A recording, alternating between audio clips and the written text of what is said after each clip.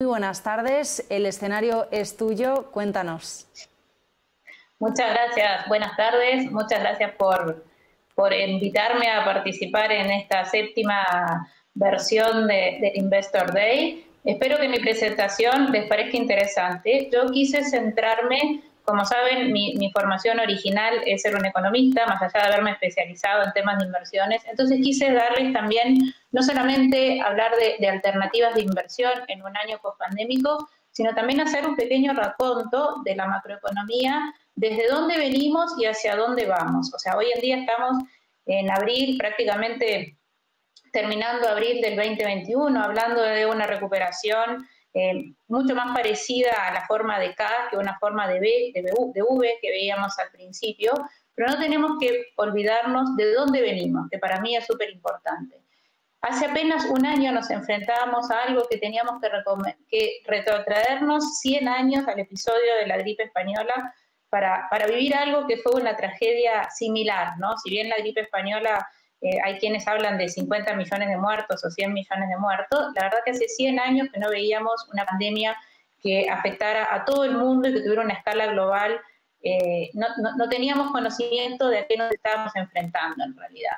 El 2020, a pesar de que comenzó siendo un año muy auspicioso en materia bursátil, sobre todo en Estados Unidos, con un bull market que parecía que no tenía fin, eh, la macroeconomía global enfrentó niveles de incertidumbre sin precedentes. Las economías respondieron a un shock de oferta sustancial, del cual, como les comentaba, no tenían experiencia de haber enfrentado, y los mercados financieros se comportaron verdaderamente como no lo habían hecho literalmente nunca. No hay que olvidar que la crisis económica anterior, o financiera más que económica, fue básicamente una crisis que afectó que fue la del 2008, de la cual parece que, que ya pasó hace muchísimo tiempo, pero, pero pasó básicamente un poquito más de una década, eh, afectó a nueve economías, las nueve eh, economías desarrolladas más importantes del mundo, pero esta crisis en particular, esta pandemia, afectó a todo el mundo por igual.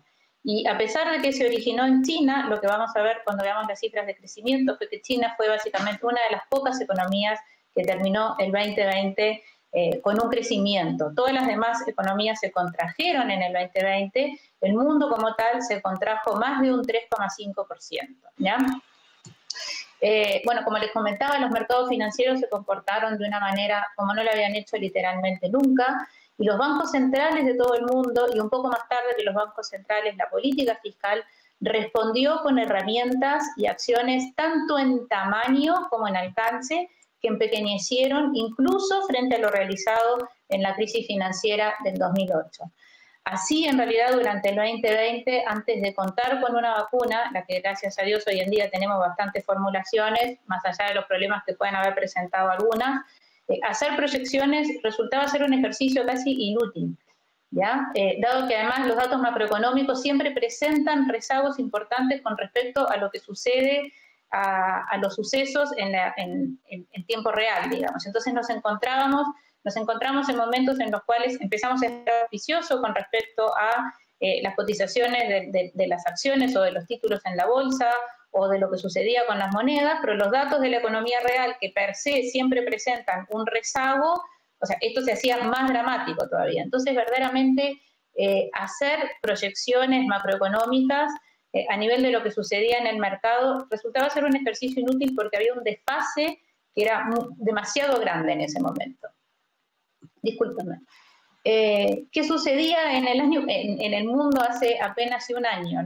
Hoy estamos apenas saliendo de una crisis económica, se espera eh, que en este 2021 el mundo como un todo crezca.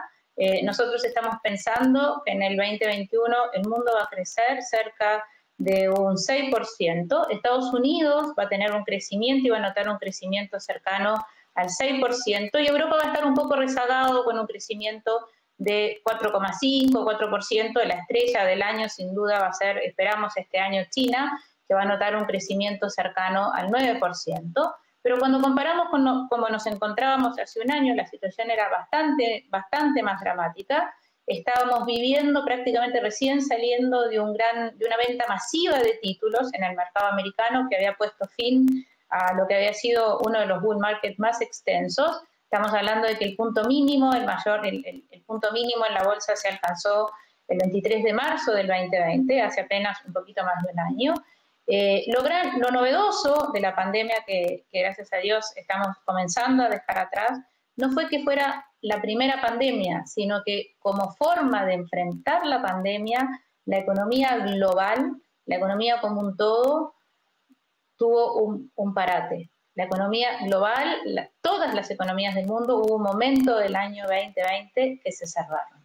Y esa fue la gran novedad de la crisis. Y como consecuencia de esto, en el segundo trimestre del año pasado, vimos caídas anualizadas del producto como no se veían en muchísimo tiempo. En Chile en concreto llegamos a una caída anualizada del producto cercana al 14%. Y vimos, como les decía, una sincronía en todas, en, todas las economías del mundo que no se había visto ni siquiera durante la gran pandemia anterior. Porque en la pandemia anterior, que produjo una cantidad de muertos que está cifrada entre los 50 y los 100 millones de personas, de todas formas, Estados Unidos había crecido en ese momento, eh, que no fue lo que sucedió en el 2020. En ese contexto de incertidumbre que gracias a Dios hoy en día hemos dejado atrás, surgieron básicamente lo que a mi juicio fueron siete certezas.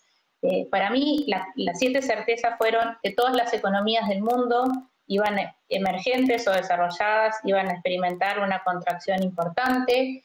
Eh, la mayor contracción se iba a experimentar en el segundo semestre, en el segundo trimestre, a medida que comienzan además a, desarrollarse y a, utilizarse las vacunas, esta es el mejor, la mejor herramienta, digamos, mucho más que lo que puede ser el estímulo monetario o el estímulo fiscal, dado que las vacunas nos van a permitir finalmente dejar de lado las cuarentenas y las restricciones que tanto han impactado a las economías y sobre todo, más allá de las economías, a las personas. ¿no?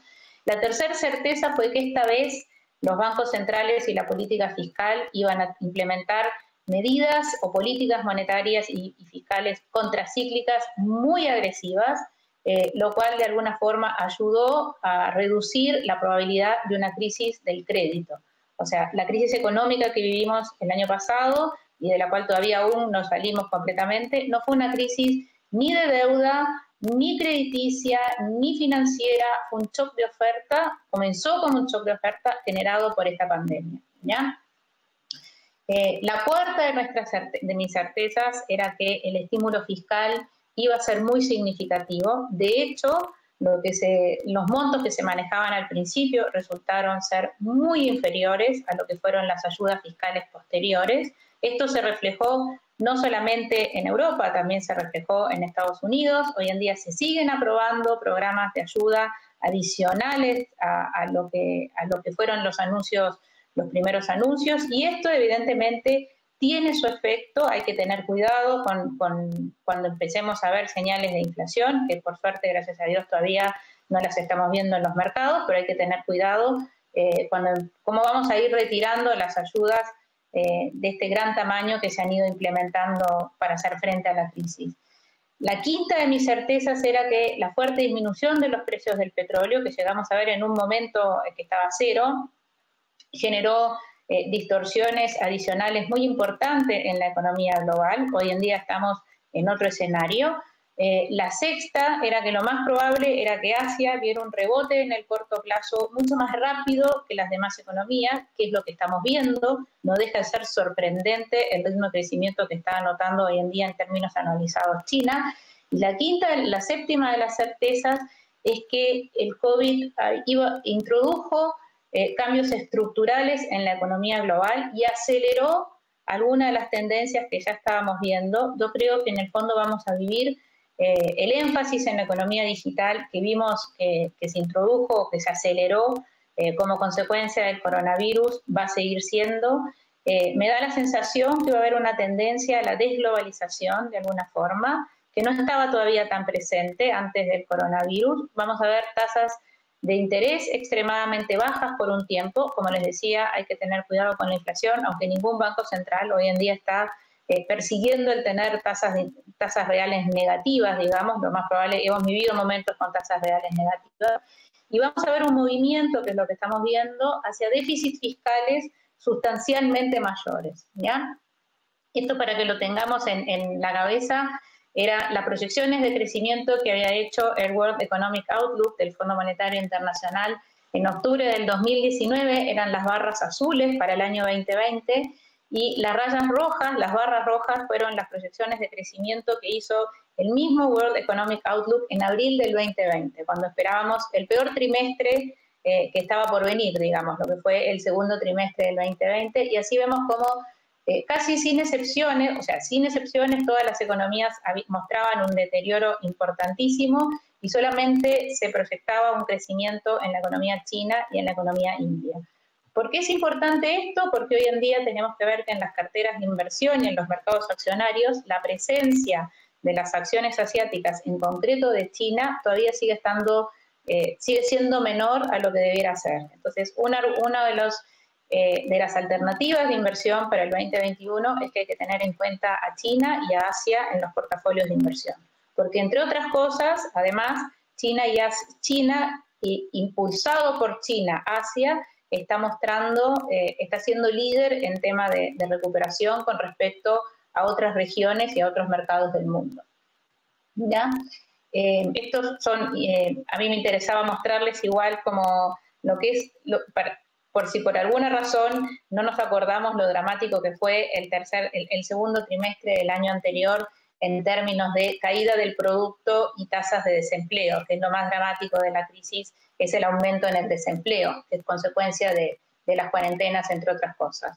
Esta es la gráfica que mostraba las solicitudes iniciales de beneficios por estar en situación de desempleo en Estados Unidos, el número de personas. Sin embargo, a pesar de lo dramática que fue la crisis, en este cuadro que a mí me gusta muchísimo, podemos ver qué poquito nos demoramos en pasar desde lo peor de lo peor hasta, eh, hasta lo que fue la recuperación en los mercados bursátiles. ¿no? Si comparamos con episodios anteriores, se podría decir que esta fue la crisis más dura, pero la que en el fondo a nivel de mercado bursátil nos demoramos menos en salir.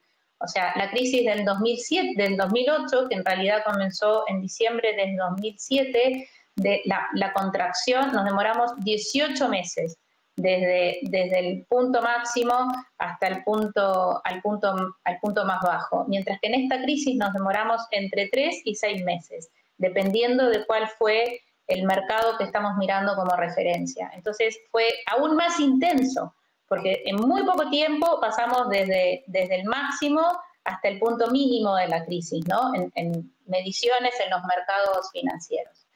En, las medidas en, en, cuanto a medidas y reacciones, como les comentaba, tanto los bancos centrales en Estados Unidos como en Europa eh, reaccionaron de una manera muy agresiva y los mensajes que, que, se enviaron a, a, los inversionistas fue que se iba a realizar todo lo necesario y más para lograr apuntalar eh, la recuperación. ¿Qué fue lo que sucedió? ¿Por qué Europa no comenzó en el camino de la recuperación antes? Bueno, porque básicamente no se contaba con la vacuna y vinieron la segunda, la segunda ola de la vacuna y eso produjo nuevas cuarentenas y volvió a impactar en el crecimiento. Como les contaba, en el 2020 la Europa de los 28 anotó una contracción cercana al 6,4 y para este año 2021 estamos pensando que la recuperación o el crecimiento del producto va a estar en torno al 4,5%. O sea que igual va a estar rezagado en cuanto a, recuperación macroeconómica y en cuanto a mercado accionario con respecto a lo que es Estados Unidos. Estas son un raconto de las, de las medidas que se tomaron. Me interesaba compartirlo con ustedes a nivel de inyección de liquidez, de cómo habían aumentado, la, cómo aumentó la hoja de balance del Banco Central. No, solamente se tomaron medidas en cuanto a políticas monetarias ortodoxas, sino políticas monetarias más heterodoxas, como es la compra de papeles, eh, y cómo terminó el año 2020 eh, y cuál fue la contracción, a pesar de todos los esfuerzos que se hicieron en materia de implementar políticas contracíclicas, tanto monetarias como fiscales. Eh, como les decía, a pesar de, de que la política monetaria y la política fiscal se puso al servicio de la recuperación, no se logró que las economías no se contrajeran. De hecho, el propósito de la política fiscal y la política monetaria no era evitar la contracción de la economía, si se hubiera logrado hubiera sido mucho mejor aún, pero lo que se pretendía con estas políticas era básicamente apuntalar la recuperación, lograr que la recuperación económica comenzara lo antes posible. Evidentemente, lo mejor para la recuperación económica es vacunar a la gente. Lo mejor para la recuperación es lograr, eh, lograr la vacuna, lograr comenzar a, vacunar, tener, lograr la inmunidad de rebaño para que de esa forma la recuperación tome, tome ritmo y tome fuerza, sobre todo en aquellos sectores que han sido más fuertemente impactados, que son los que, el sector servicios, ¿no? mucho más que la producción. En esta gráfica quería mostrarles lo que había sido la evolución del precio del petróleo el año pasado hasta el momento en que vimos eh, los precios del petróleo en cero dólares, los contratos, eh, y cómo eso produjo distorsiones adicionales eh, en ese momento, ¿no? Lo que les comentaba, a mí me da la sensación que vamos a tener una desglobalización, por decirlo de alguna manera. Va a haber el énfasis que se había puesto en el último tiempo, en la última línea, en la última línea de los estados resultados, en disminuir, disminuir, disminuir costos para, para, para mostrar mejores márgenes. De alguna forma dejó a las economías mucho más vulnerables en cuanto a posibles rupturas de las cadenas productivas en el evento de que hubiera una nueva crisis de este tipo que afectara a todas las economías en su conjunto, como sucedió acá. Si bien hubo, las economías fueron eh, siendo afectadas por el COVID en diferentes formas, o sea, el, coronavirus llegó a Asia entre noviembre y diciembre y recién afectó a Europa y a Estados Unidos y América eh, básicamente desde fines de febrero, principios de marzo, hasta que a mediados de marzo las economías en América Latina se cerraron, concretamente Chile, Chile se cerró el 13 de marzo del año pasado. Eh, una de las consecuencias de esto va a ser la inversión, el aumento de la inversión en infraestructura como parte de los, de los programas fiscales, con lo cual hay que estar atento a la posibilidad de invertir en infraestructura, probablemente no a través de, instrumentos que cotizan en bolsa, pero sí a través de otros instrumentos. Eh, en el 2020 se puso un alto a las recompras de acciones y en el 2021 mi sensación es que vamos a ir en la dirección contraria porque hay muchas empresas, sobre todo en los sectores, las empresas que están dentro de lo que se llama el value en lugar del growth, que tienen mucha caja y probablemente va a haber un aumento o un impulso a los programas de recompra de acciones. Y lo que hemos visto es los bancos centrales como compradores de crédito corporativo global. Eh, ¿Cómo vemos el panorama ahora, un año después, y esperamos a... Quise ponerle lo que son las proyecciones de crecimiento hacia adelante, porque creo que va a haber una recuperación de la economía global en materia de crecimiento generalizada y, por supuesto, a nivel de regiones, con Asia liderando. Eh, la importancia del estímulo fiscal en Estados Unidos va a seguir presente. Eh, hay una baja importante en la tasa de desempleo y lamentablemente, a pesar de que todo nos hubiera gustado ver una recuperación en forma de V, vamos a ver cada vez más una recuperación en forma de K. Quiere decir que vamos a tener sectores donde la tecnología es muy importante que van a recuperarse, mientras que otros sectores que básicamente son sectores más cíclicos, pequeños negocios, donde hay trabajadores que lamentablemente no están calificados, que no van a tener una recuperación y esa es la parte inferior, digamos, la pata que va hacia abajo en la K. Eh, los riesgos de inflación por ahora permanecen apagados, pero, pero, en el fondo hay que ver cómo vamos a ir retirando el estímulo monetario.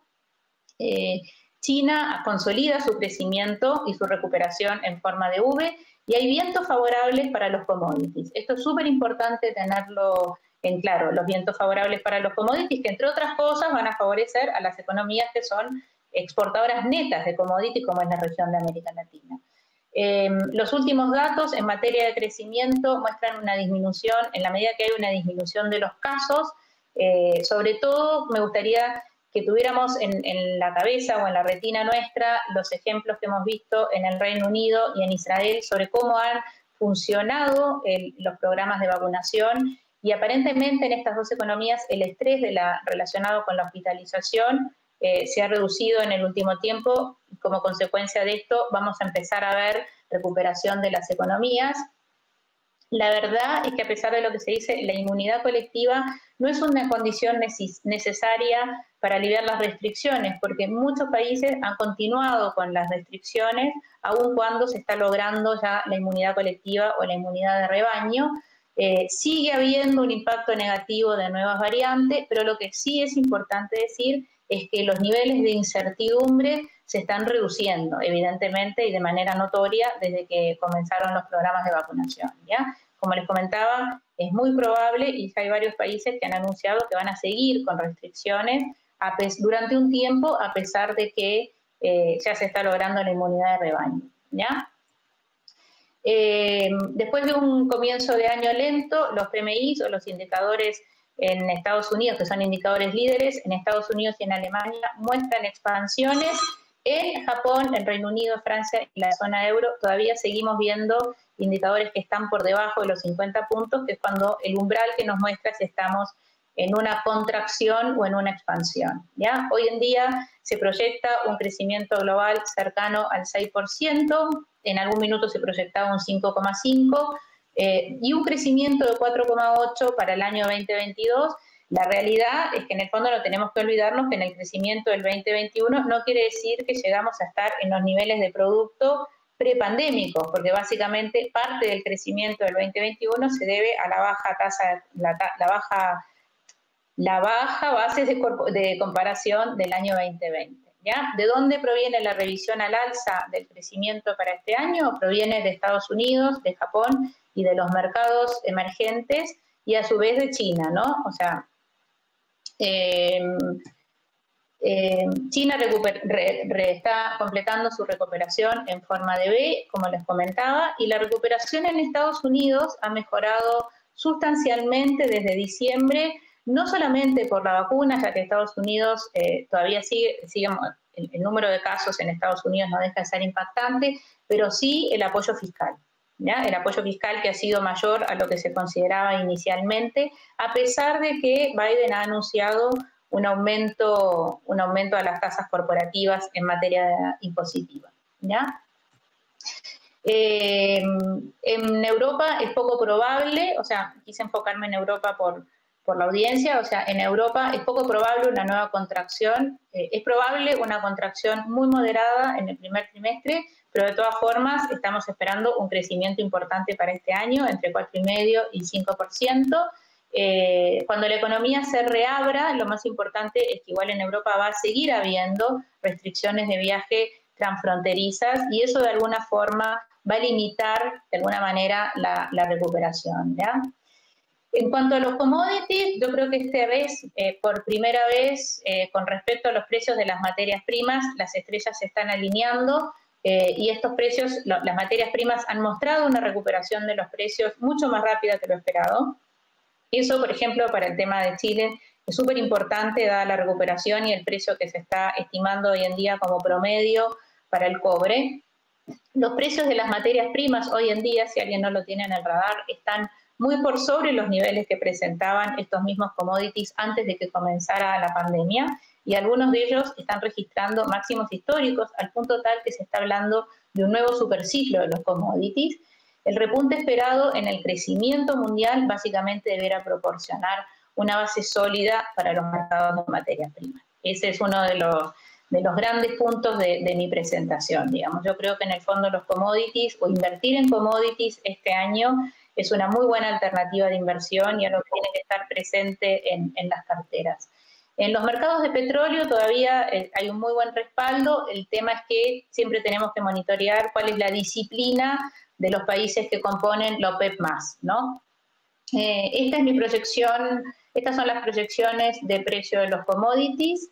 Eh, en términos de inflación, que yo creo que es un driver súper importante, sobre todo en lo que tiene que ver con renta fija, eh, a largo plazo, a más largo plazo, los bancos centrales siguen comprometidos con una inflación baja. No se han visto indicios de una, de una alza en la inflación. De todas formas, tenemos que tener en cuenta que en la curva de Treasuries ya vemos una normalización de la pendiente de la curva y estamos con tasas en, en los bonos del Tesoro muy por sobre lo que veíamos en marzo del año pasado. En marzo del año pasado, por si no lo recuerdan, hubo un momento en que toda la curva de treasuries en Estados Unidos estuvo por debajo del 1%. Y hoy en día estamos viendo niveles cerca del 1,70, por ejemplo, para los bonos del Tesoro a 10 años. Eh, ¿Qué implica el panorama este que estamos viendo a nivel macroeconómico en las decisiones de inversión o en, la elección de la cartera de inversión y de los activos que constituye una cartera de inversión. Nosotros creemos que el, el, crecimiento más rápido y las expectativas de inflación han sido un factor clave en los movimientos recientes en los mercados financieros. El desempeño de los activos de riesgo ha seguido muy de cerca las expectativas de inflación en el mercado durante los últimos 10 meses. A comienzos de la crisis, en marzo del 2020, el S&P experimentaba una disminución desde el máximo eh, cercana al 30% y desde entonces el mercado de valores se aceleró más allá de los niveles anteriores a la pandemia y además de esto, la Reserva Federal anunció eh, que no tenía problema y que iba a abandonar el objetivo de perseguir la inflación de 2% en el mediano plazo, con lo cual anunció de alguna forma que iba a mantener las tasas eh, de política monetaria en los niveles mínimos actuales. ¿ya? Eh, estamos hablando de un bono del tesoro que está, como les contaba, a 1,7 en 1,7. A medida que los inversionistas vean eh, evidencias de una mayor inflación en el largo plazo, van a seguir exigiendo un rendimiento más alto. Todo lo anterior eh, colabora a que pensemos que tenemos que tener una cartera en la cual la renta variable tenga una posición importante versus lo que es una cartera de renta fija. ¿ya? Em, ¿Qué más les podría decir? Los principales riesgos a la baja hoy en día es una tercera hora de infecciones, una ineficacia de alguna vacuna o los lanzamientos más lentos, disturbios sociales frente a la desigualdad que está presente en todas las economías del mundo y una retirada prematura del apoyo de las, de, las políticas fiscales y, monetarias de apoyo. ¿ya? Eh, los riesgos al alza en este minuto son eh, las mejores noticias sí, sobre la fabricación y la eficacia de las vacunas la distribución más generalizada de las mismas vacunas, los mercados emergentes. Desde mi punto de vista, si yo tuviera que decir dónde invertir en el 2020, creo que hoy en día las decisiones tácticas son más, eh, más riesgosas que antes, por eso debiéramos posicionarnos en armar una cartera donde las decisiones estratégicas sean las más importantes y desde ese punto de vista lo más importante es identificar cuáles son las tendencias de largo plazo debiéramos estar invertidos en el sector ciencia y tecnología, en energías limpias y tratar de capturar el ascenso de China como clase de activo central en una, en una cartera de inversión, no como algo táctico, sino como algo estratégico. Este debiera ser un muy buen año para la renta variable. No hay que dejar de mirar las empresas small cap versus las empresas, eh, las empresas más grandes hay que tener siempre en cuenta el posicionarse algo más en value con respecto a, los sectores de growth, eh, que debieran tener, los sectores procíclicos debieran también tener un mejor desempeño que el promedio y hay que privilegiar dentro de, como les decía, la renta variable versus la renta fija y sobre todo para que decida estar en renta fija, eh, posicionarse en aquellos activos que son más high yield, más que mejor riesgo crediticio. Em, yo creo que si tuviera que elegir una estrategia entre value o growth, como les dije, me iría algo más por growth. Eh, lo que tenga menor grado de inversión o va una calificación de riesgo menor, aumentar la exposición en China para mí es clave en este minuto. Em, la inversión en activos algo menos líquidos o ilíquidos o activos alternativos es interesante, pero hay mucho dry power en este minuto en el mercado. Em, eso era lo que yo quería compartir con ustedes como una visión macro y cuáles eran, cómo se traducía esto en cómo armar una estrategia o una cartera de inversión para este año post-pandémico. Em, creo que podemos tener un espacio para alguna pregunta, si alguno tiene una pregunta. Bueno, pues eh, muchísimas gracias Gabriela, muy interesante. Eh, voy a lanzarte dos preguntas que nos han eh, mandado ya los espectadores rápidamente porque tenemos poco tiempo, pero avisamos desde ya que las preguntas que se queden sin responder ahora se van a poder responder, las pueden enviar a sales.xcb.es y, y se contestarán, si no hoy, pues en las próximas jornadas. Pero ya rápidamente te lanzo la primera pregunta, Gabriela. Eh, nos preguntan por YouTube, ¿estamos realmente en el comienzo de la supuesta recuperación económica? ¿No debemos de esperar primero la gran crisis que está por venir cuando las bolsas descuenten sus correcciones? Eh, Yo creo que en el fondo estamos a puertas de una recuperación. La recuperación no está dándose con la misma rapidez en todas las economías. Eh, todavía falta para que nosotros veamos una recuperación verdadera. Lo que nosotros estamos viendo hoy en día son tasas de crecimiento positivas que en parte reflejan una baja tasa de una baja base de comparación. Entonces yo creo que si bien algunas bolsas ya han corrido lo suficiente, me parece que todavía hay espacio. Hay espacio si bien hay espacio, en parte porque las tasas de interés van a seguir bajas por un tiempo, con lo cual si yo traigo a valor presente los flujos futuros, voy a seguir descontando una tasa baja. la segunda razón es que voy a ver mejores niveles de ingresos y mejores ventas en muchas empresas, con lo cual voy a empezar a ver recuperación a nivel de flujo, no ya descontando una tasa menor, sino que voy a tener flujos mejores. Y además, verdaderamente me parece que a las empresas que están sobre todo relacionadas al sector servicio, todavía no hemos visto una recuperación. Entonces, todavía hay mucho espacio para estar invertido en renta variable con respecto a renta fija. Eh, y una última pregunta, Gabriela, nos preguntan respecto a los bancos centrales, ¿cuándo comenzará la retirada de estímulos cuando el 70% de la población esté vacunada? No creo que sea así. La retirada de estímulos de los bancos centrales debiera comenzar a, verse cuando básicamente haya señales de que la inflación está volviendo, cosa que hoy en día todavía la verdad que no vemos señales de eso. Por el lado de la Reserva Federal, creo que incluso la Reserva Federal ha dejado claro que la retirada del estímulo monetario por el lado no del, poner un halt a los programas de compra de activos, sino a comenzar a aumentar eh, va a darse cerca del año 2023. Por ahora es algo que está eh, que se ve muy a largo plazo. Eh, y eso es lo que tenemos que tener en cuenta. La retirada de los estímulos no está condicionada a lograr la inmunidad de rebaño, sino a que aparezcan señales de inflación, porque ninguna, ningún banco central hoy en día está manteniendo una política o persiguiendo una política de haber tasas reales negativas. Pues eh, muchísimas gracias, Gabriela. Recordamos que el resto de preguntas se van a seguir contestando en nuestras redes, en nuestros canales, en chats y en la plataforma. Eh, muy buenas tardes, Gabriela. Gracias por acompañarnos.